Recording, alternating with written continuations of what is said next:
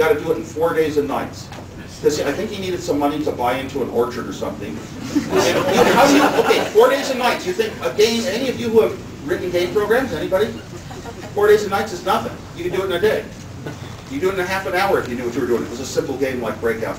This was back in the hardware days. Games were not software.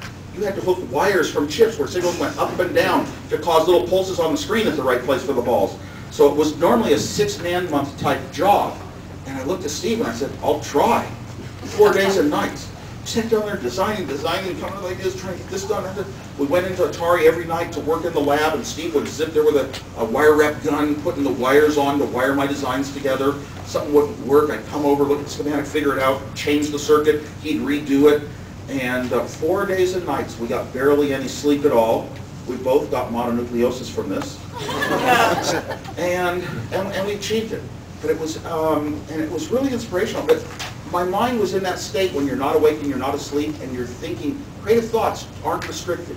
You don't, it's almost like uh, drinking alcohol and you don't have inhibitions. Well, you don't have inhibitions to your, your thinking sometimes when you're creative. Somehow I thought about microprocessors were somehow going to be in games someday. Yeah, you could just have programs that move the ball around.